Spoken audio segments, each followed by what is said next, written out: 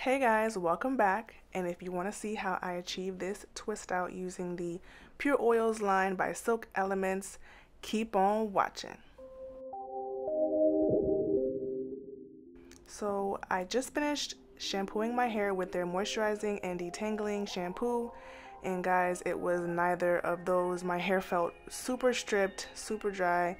I was not a fan and now I'm applying the deep treatment mask and it definitely is softening up my hair and adding back some moisture. I'm gonna go ahead and put a plastic bag and deep treatment that for about a couple of hours. I went and watched Finding Dory, which was freaking awesome. I'm tying my scarf on so I don't look too crazy out in the streets and I will be doing a video on how I tie my scarf very soon for y'all.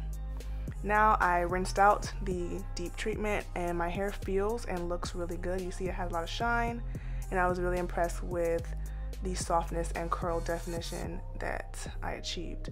I went ahead and applied some regular old hair oil, some almond oil, jojoba oil, nothing special, all throughout my hair. And now you'll see me go ahead and apply the leave-in moisturizer and I actually really, really like this stuff. It was a great detangler and it was really softening to my hair.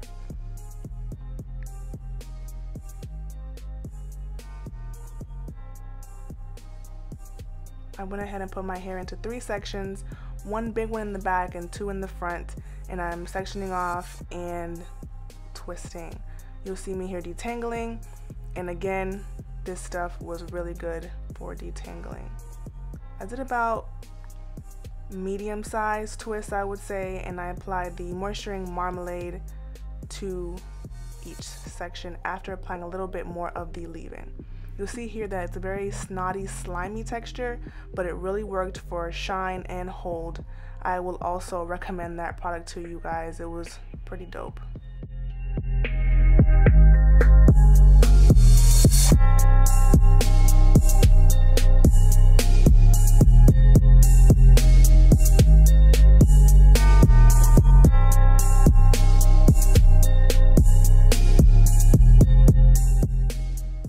After an hour or so, I'm almost done. I have two more twists and the same process, applying some leave-in conditioner, um, detangling with my Denman brush and applying that moisturizing marmalade, which again, pretty freaking dope.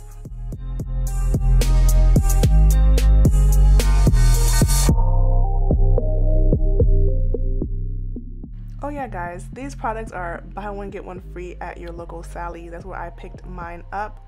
They're only buy one get one free until the end of the month, so a few more days. Like I said, the shampoo was trash, but the last three products were pretty good. So if you're interested, go ahead and pick them up while the sale is still going on. I'm gonna go to bed and wake up with dry hair. There I am again. And I'm using some regular hair oil just to help with frizz. My hair was, I would say 95% dry, so I did have a little bit of extra frizz but not too much. I really don't mind that. I am unraveling my twist, being pretty gentle. Um, if you do run into snags, you don't want to snatch and pull because it'll just add more and more frizz and ruin the look.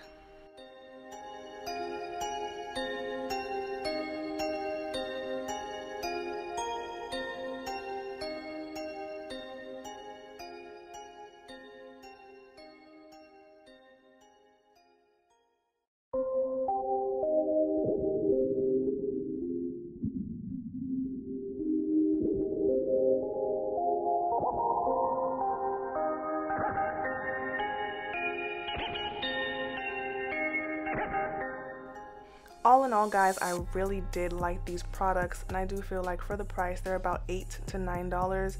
They are definitely worth it. I had a lot of shine great definition and my hair really felt super duper moisturized.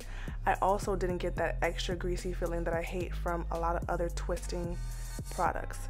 So thank you guys so much for watching and i will see you in my next video